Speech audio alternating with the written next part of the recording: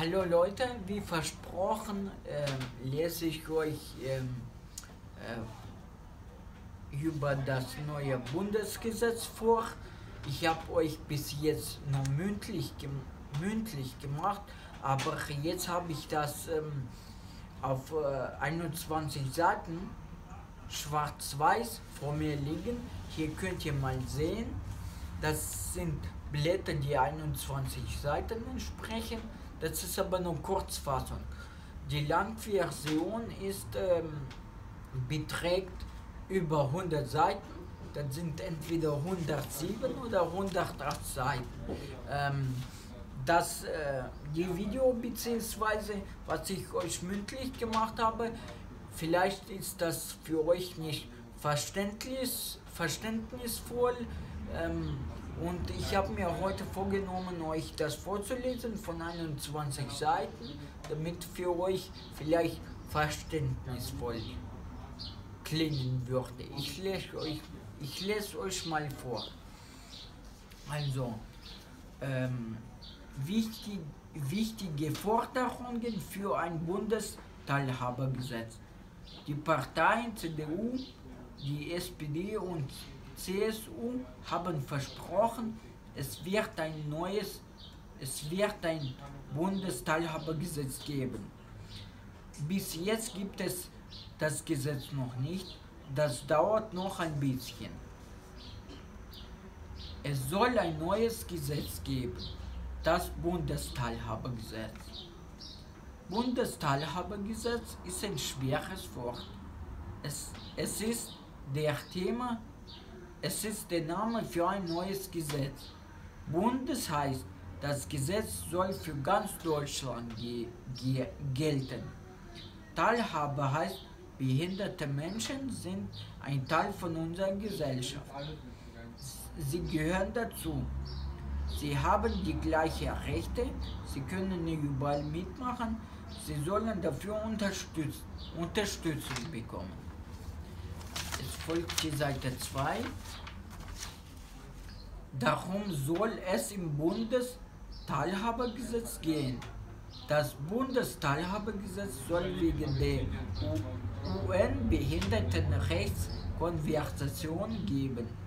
Die UN-Behindertenrechtskonversation ist sowas wie ein Vertrag. Dieser Vertrag gilt fast auf der ganzen Welt. Deutschland muss sich an diesen Vertrag halten. In der, in der UN Behindertenrechtskonversation steht zum Beispiel, behinderten Frauen und Männer gehören überall dazu. Sie machen mit, sie, wo sie wollen, was sie wollen, wann sie wollen behinderten Menschen bekommen die Hilfe, die Hilfen, die sie brauchen.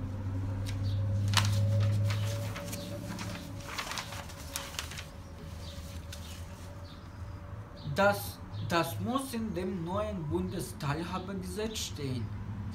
Es weiß noch keiner, was wird genau in dem Bundesteilhabegesetz stehen. Wir wollen ein gutes Bundesteilhabegesetz haben. Deshalb fordern wir, diese Dinge gehören zu einem guten Bundesteilhabegesetz dazu. Wir fordern behinderte Menschen mit Hilfebedarf sollen, sollen sparen dürfen. Sie sollen so viel Geld sparen dürfen wie nicht behinderten Menschen. Viele behinderte Frauen und Männer brauchen Unterstützung. Wir nehmen diese behinderten Menschen, behinderten Menschen mit Hilfebedarf. So.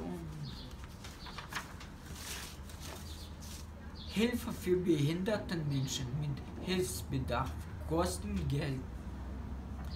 In schwerer Sprache heißt dieses Geld Eingliederungshilfe oder Sozialhilfe. Oft bezahlt das Sozialamt diese Unterstützung. Bis jetzt ist es so. Für dieses Geld gibt es eine besondere Regel. Ein behinderter Mensch Hilfebedarf, mit Hilfebedarf darf nur 2600 Euro sparen. 2600 Euro sind wenig Geld. 2600 Euro gibt man schnell aus. Zum Beispiel für Urlaub oder für einen neuen Computer oder für Möbel. Wenn ein behinderter Mensch mit Hilfebedarf mehr Geld gespart hat, dann muss er seine Hilfen selber bezahlen. Bis er nur noch 2600 Euro hat. Wenn ein, wenn ein behinderter Mensch mit Hilfebedarf viel verdient, dann muss er einen Teil von seiner Hilfe selbst bezahlen. Das bedeutet, behinderte Menschen mit, Hilfs, mit Hilfsbedarf sind oft arm. In ihr ganzes Leben lang, nur weil sie behindert sind. Und weil es die, und weil es die Regeln mit 216 2600 Euro gibt. Wenn ein behinderter Mensch mit Hilfsbedarf verheiratet ist oder mit einer Partnerin zusammen wohnt oder mit einer, Partner, mit einer Partnerin zusammen wohnt, dann ist das so, dann darf das Paar zusammen nur 3214 Euro sparen. Wenn das Paar mehr Geld gespart hat, dann muss der Partner die Hilfen mitbezahlen. Oder die Partnerin muss mitbezahlen. Und dann wird es und, und dann wird diese Person vielleicht arm. Das bedeutet also. Man, man, kann, man, man kann schnell arm werden wenn man einen behinderten Menschen mit Hilfsbedarf heiratet oder mit ihm zusammenlebt. Das ist ungerecht. Wir fordern, der Staat soll nicht schauen, wie viel Geld hat, wie viel Geld hat der behinderte Mensch mit Hilfebedarf gespart. Wie viel, wie viel Geld verdient er? Wie viel Geld hat der Partner oder die Partnerin gespart? Wie viel Geld verdient der Partner oder die, oder die Partnerin? Wenn behinderte Menschen Hilfe brauchen, weil sie behindert sind, dann sollen sie diese Hilfe nicht selber bezahlen. Das ist für diese Hilfe sehr wichtig. Bis jetzt ist es so, Oft bezahlt das Sozialamt die Hilfen für behinderte Menschen. Das soll es so sein, diese Hilfen sollen, diese Hilfen sollen nicht mehr zur Sozialhilfe gehören. Überall in Deutschland sollen die gleichen Regeln gelten.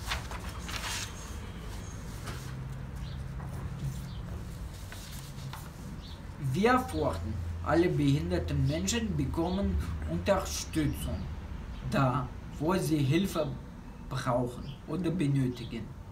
Das heißt, jeder behinderte Mensch soll selber entscheiden, welche Hilfe er braucht. Welche Hilfe er Hilfen er bekommt, wer ihm hilft, wann er Hilfe bekommt, wo er die Hilfe bekommt. Ein, so. Und jetzt äh, ist das ein kleiner Text für die gehörlosen Menschen. Beispiele. Ein gehörloser Mensch benutzt Gebärdensprache. Die, die Person spricht mit den Händen. Die, die Zeichen nennt man Gebärden. Noch weniger Gehör, Gehör, gehörende Menschen können Gebärdensprache. Dann braucht ein gehörloser Mensch Hilfe. Das machen Gebärden, Dolmetscher oder Gebärden, Dolmetscherinnen. Sie übersetzen gesprochene Wörter in Gebärden. Diese Hilfen kosten Geld, was natürlich selbstverständlich ist. Alles kostet Geld. Ein behinderter Mensch kann nicht allein trinken.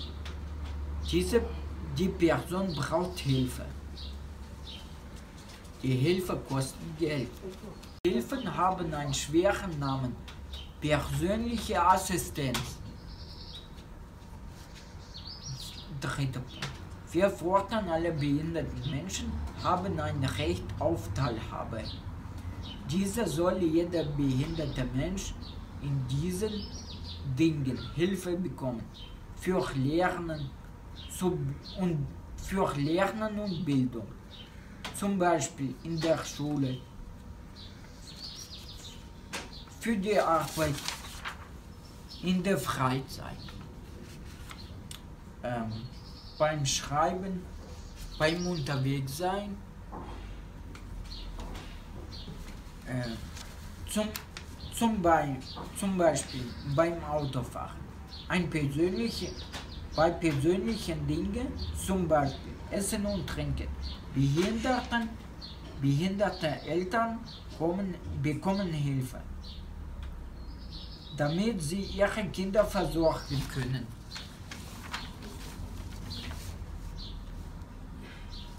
Punkt 4. Wir fordern ein Bundesteilhabegeld für Menschen mit Behinderung. Bundesteilhabegeld. Es ist ein schweres Wort. Mit dem Geld, mit dem Geld bezahlen behinderten, behinderte Menschen bestimmten Hilfen selbst. Dafür holen sie sich behinderte Menschen, zum Beispiel Hilfen für Dinge, die die nicht selber machen können, weil sie behindert, also beeinschränkt sind. Für Dinge, die sie nicht so gut alleine machen können, weil sie beeinschränkt sind. Mit dem Bundesteil mit dem Bundesteilhabegeld bestimmen, bestimmen behinderte Menschen ihre Hilfen selbst. Das Bundesteilhaber, das Bundesteilhabergesetz, Entschuldigung, das Bundesteilhabergeld hilft zum Beispiel dabei. Ein, ein blinder Mensch benutzt ein Taxi oder eine blinde Frau bezahlt jemandem zum Vorlesen. Dafür wären das Bundesteilhabergeld. Eine Frau mit Lehren, mit Lernschwierigkeit nimmt eine Unterstützungsperson mit. Zum Beispiel, wenn sie ins Kino möchte und nicht alleine gehen kann. Dafür wäre das Bundesteilhabegeld. Das ist beim Bundesteilhabegeld wichtig. Behinderte Menschen mit Hilfebedarf müssen dann nicht mehr das Sozialamt fragen, ob sie für bestimmte, bestimmte Hilfen Geld bekommen, sondern sie nehmen dafür einfach ihr Bundesteilhabergeld. Das muss auch in dem Bundesteilhabergesetz stehen. Bis jetzt gibt es Blindengeld für blinde Menschen, Sehbehindertengeld für Sehbehinderten, behinderte Menschen, Geld für gehörlose Menschen, Geld für taubblinde Menschen. In jedem Bundesland gibt es andere Regeln dafür. So sollte es sein. Dafür soll es dann das ähm, Bundesteilhabergeld Bundesteilhabergeld geben. Wir fordern, blinde Menschen bekommen genauso viel Geld wie vorher. Sehbehinderte Menschen auch, gehörlose Menschen auch. taube, blinde Menschen auch. Diese Menschen bekommen in jedem Bundesland gleich viel Geld. Punkt 5. Wir fordern, Inklusion ist das Wichtigste. Sondereinrichtungen sind keine Inklusion. Inklusion ist ein schweres Wort. Inklusion bedeutet, behinderte Menschen haben die gleichen Rechte, weil wie nicht behinderte Menschen. Jede, jede behinderte Frau und jeder behinderte Mann kann überall mitmachen. Jeder kann selber entscheiden, was will er mitmachen, wo will er mitmachen. Das ist besonders wichtig. Es muss neue Regeln für die Unterstützung geben, damit es überall Inklusion. Auf der nächsten Seite gibt es Beispiele für e Exklusion. Dann lese ich euch jetzt mal vor, was, ist, was eine Exklusion ist. Exklusion. Inklusion für behinderte Kinder und Jugendliche. Alle behinderten Kinder und Jugendliche bekommen die Unterstützung, die sie brauchen. Bis jetzt ist so, für körperbehinderte Kinder kommt das Geld für die Unterstützung von Sozialamt. Für psychisch kranke Kinder kommt das Geld für die Unterstützung, zum Beispiel von Jugendamt. Oft weiß man nicht, welches Amt ist das Richtige. So sollte es sein. Für alle behinderten Kinder kommt das Geld für die Unterstützung vom gleichen Amt. Zum Beispiel Unterstützung für die Schule, Unterstützung für die Freizeit. Für behinderte Jugendliche soll es auch so sein. Behinderte und nicht Behinderte wachsen zusammen auf. Sie gehen zusammen in, in den Kindergarten und in die Schule. Bis jetzt ist, bis jetzt ist es nicht noch oft so. Viele behinderte Kinder gehen in die Schule für behinderte Kinder. So soll es sein. Jede Familie soll selber entscheiden können, ihr behindertes Kind geht in, eine, in einen Kinderga Kindergarten mit nicht behinderten Kindern. Ihr behindertes Kind geht in eine Schule mit nicht behinderten Kindern. Für Behinderten, für behinderte Jugendliche soll es auch so sein.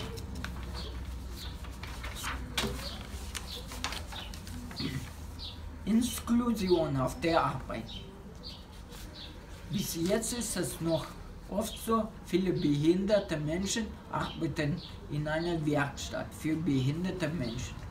Oft, oder sie gehen in eine Tagesförderstätte. So soll es sein. Behinderten, behinderte Menschen entscheiden selber, wo wollen sie arbeiten. Niemand soll in einer Werkstatt für behinderte Menschen arbeiten müssen. Niemand soll in eine Tagesförderstätte gehen müssen. Behinderte Männer und Frauen müssen auch andere Angebote bekommen.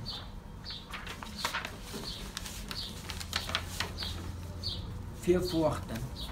Wenn jemand einen normalen, wenn jemand einen normalen Arbeitsplatz will, dann muss, dann muss das gehen. Das muss man und das muss man unterstützen. Äh, wenn ein behinderter Mensch an einem normalen Arbeitsplatz Unterstützung braucht, damit er seine Arbeit gut machen kann, dann muss die Unterstützung bezahlt werden. Die Unterstützung ist wichtig. Sonst kommen behinderte Menschen mit Hilfebedarf oft in, die, in Werkstätten für behinderte Menschen oder sie kommen aus Werkstätten für behinderte Menschen nicht mehr, nicht mehr raus. Das gilt für Menschen mit sehr hohem, hohem Hilfebedarf. Sie sollen nicht in die Förderstätte müssen. Sie sollen ihre Hilfe auch an anderen Orten bekommen. Inklusion beim Wohnen. Wenn jemand beim Wohnen viel Hilfe braucht oder benötigt, dann sagt das Sozialamt oft, eine eigene Wohnung ist zu teuer. Wohnen im Heim ist billiger. Menschen mit großem Hilfebedarf müssen deshalb im Heim leben.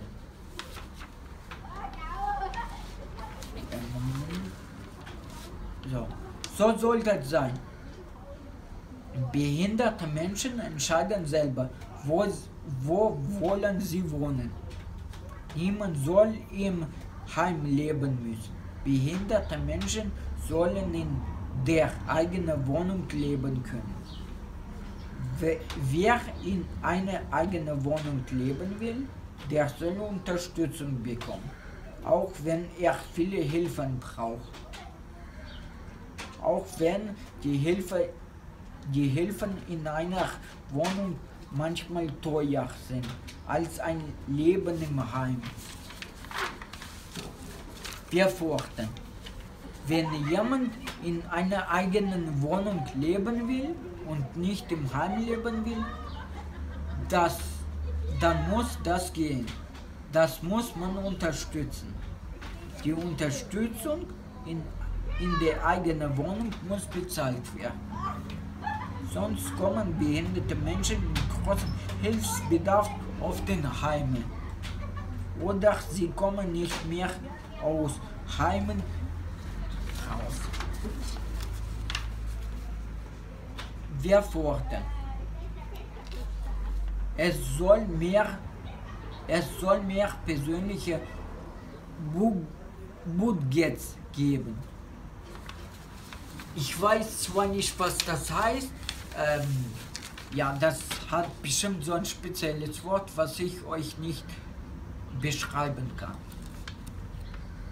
Pe persönliche Budget ist ein schweres Wort. Dann spricht man eine persönliche, ah hier steht es, das spricht man so, persönliches Budget.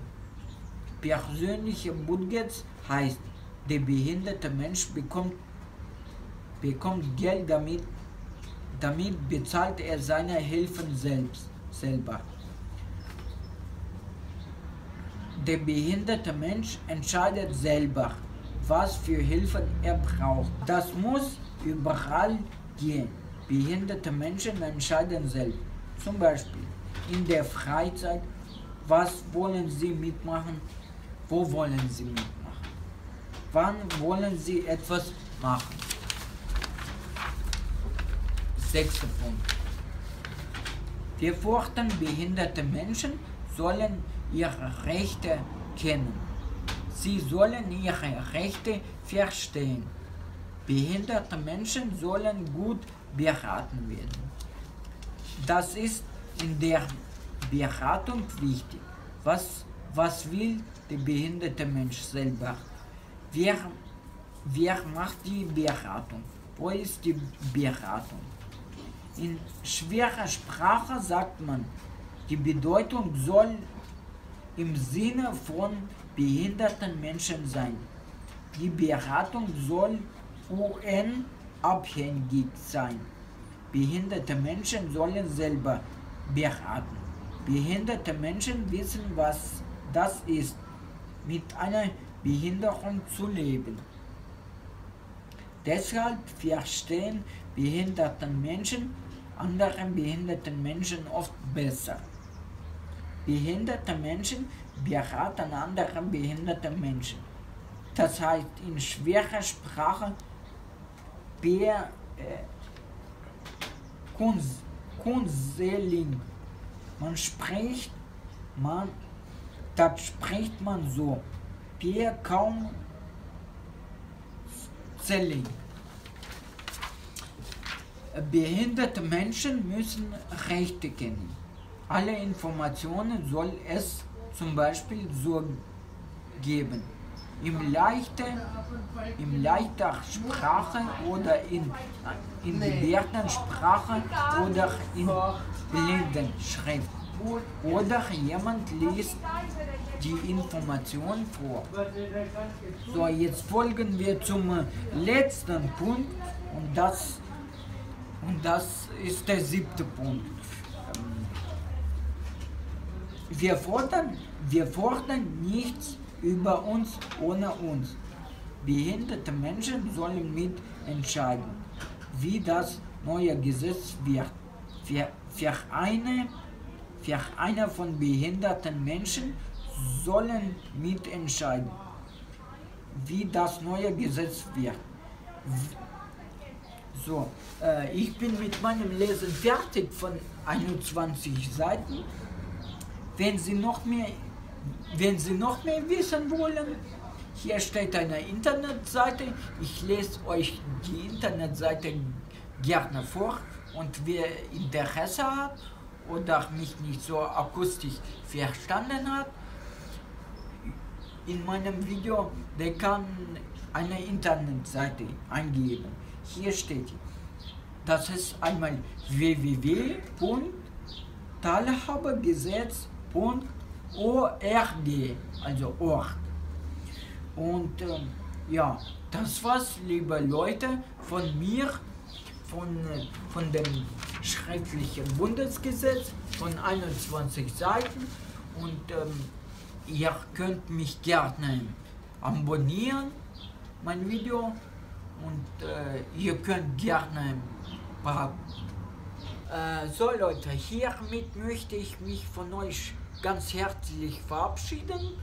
Ich weiß nicht, ob ihr alles verstanden habt oder nicht.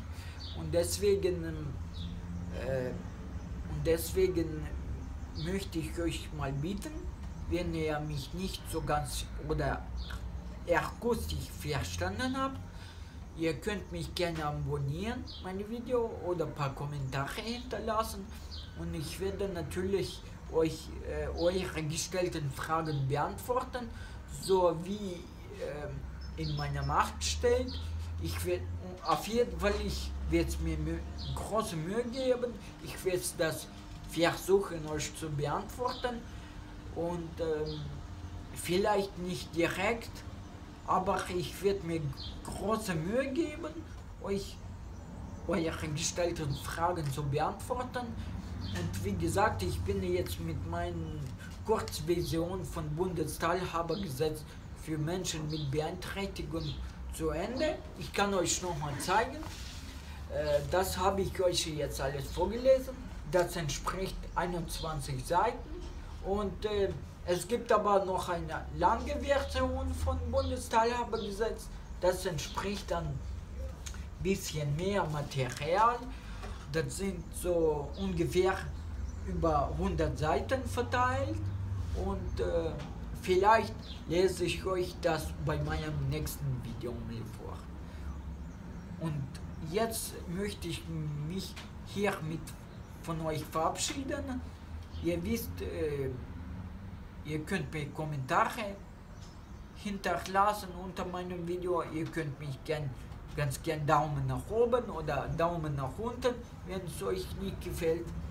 Aber es wird mich natürlich freuen, Daumen nach oben und je mehr Ab Aufrufe, desto besser. Und ähm, ja, ich hoffe, mein Video hat euch gefallen über das Bundesteilhabergesetz von 21 Seiten und ähm, ja, dann verabschiede ich mich ganz herzlich. Danke für, Zuhör für euer Zuhören und für eure Zeit. Und äh, ja, mein Video kommt so bald wie wenn ich mehr Informationen habe. Bis bald. Ja, euer Dimitri. Macht es gut. Bis zum nächsten Mal. Tschüss.